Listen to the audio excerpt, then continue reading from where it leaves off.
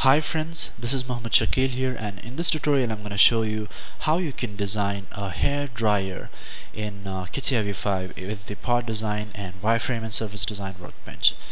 So in this particular part of the tutorial I'm going to show you how we can design this particular portion which you can see here. So you can see the complete design. So this is the third part of the tutorial and uh, we'll see how we can uh, go ahead with the design.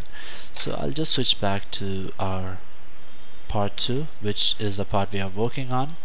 And now we're gonna create some curves for our uh, sweep feature. So I'll just select the sketch command and I'll invoke the XY plane. So once I invoke the XY plane what I'm going to do is I'm going to insert this particular portion here.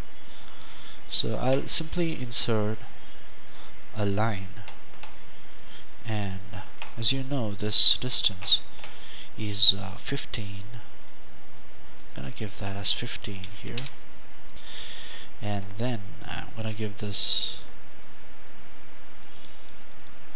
this distance as 105 and this one from this one vertical measurement as uh, 15 and just come out of the sketch.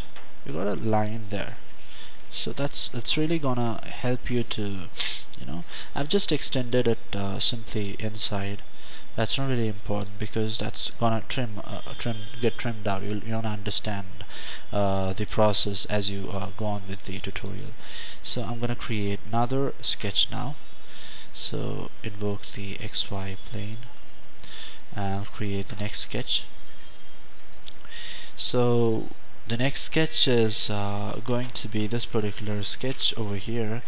And uh, that's actually a little complicated so I would like to explain that to you uh, in a uh, in a unique part of the tutorial. And uh, that's it for this particular part of the tutorial. I hope you enjoyed. Let me know if you have any doubts or clarifications.